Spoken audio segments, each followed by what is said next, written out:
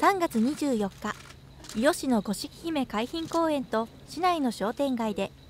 第31回女性の祭典五色姫復活祭が開かれました。これは源平合戦で敗れ五色浜に流れ着いた平家の姫たちの悲劇五色姫伝説と女性をテーマにした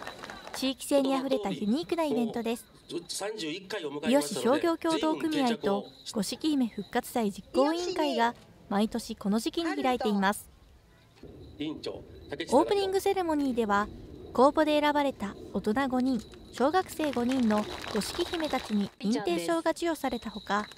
復活祭の開催を祝って餅まきが行われました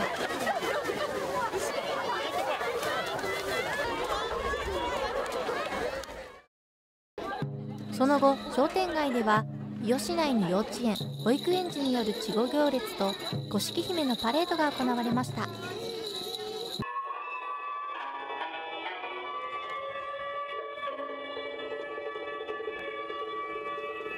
続いては女性みこしが練り歩き商店街は大勢の観客でにぎわいました。地域の伝説から生まれた五色姫復活祭。これからも女性らしい華やかさや力強さで地域をより盛り上げていくことでしょう。